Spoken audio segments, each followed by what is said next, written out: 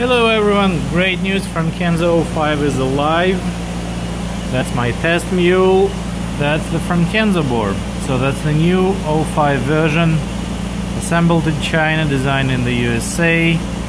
The biggest changes are the beefier power supply and now we have pull down resistors on those uh, four transistors we're using for ignition control that eliminates that little funny puff once in a while when you turn the key on.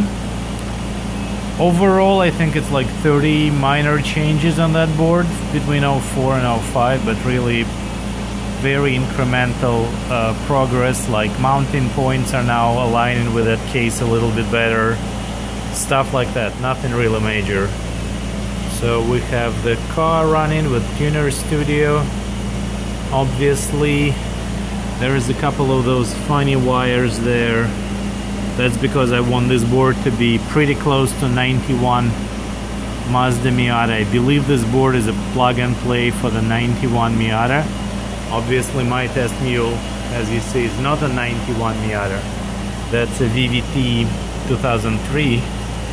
But because of that harness adapter, and because that's the same story as this one, which is again not exactly 91 anymore, if you follow my racing hobby.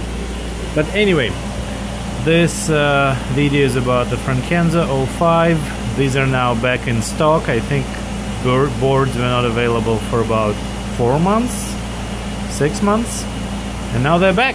So happy Christmas shopping if you are looking for a very late Christmas present for yourself or a special one.